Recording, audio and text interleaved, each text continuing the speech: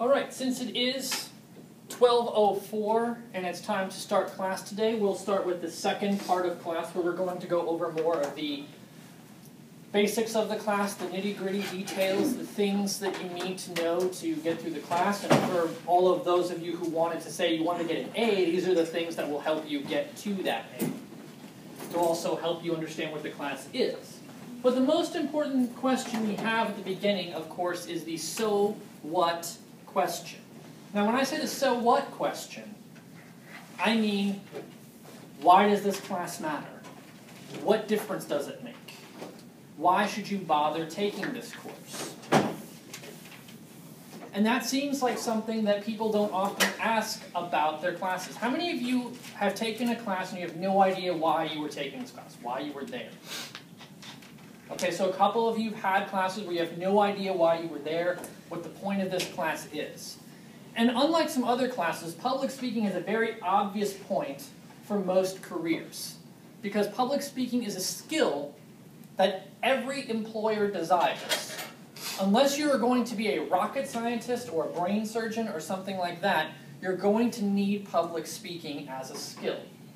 And recent surveys of employers have said that oral communication skills are the thing that they feel are most lacking in the job market. So gaining better oral communication skills will position you much better in the job market when compared to the average college graduate. So this class is going to help you develop a skill that is essential to getting a good job later on. But it's also essential in building your creative thinking or, and your critical thinking skills. Because building your critical thinking skills requires you to be able to express your ideas. And if you can't express your ideas orally, it's hard to demonstrate your critical thinking.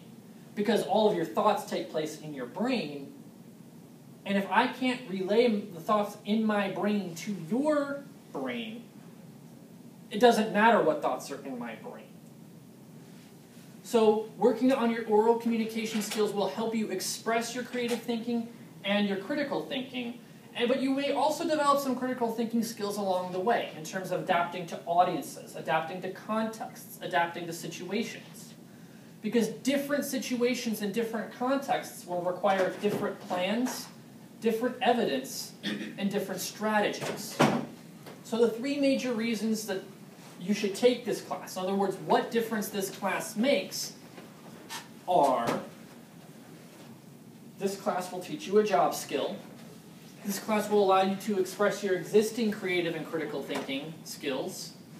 And this class will help you enhance your existing creative and critical thinking skills. And I recorded this speech for a reason that I will get to in a little bit.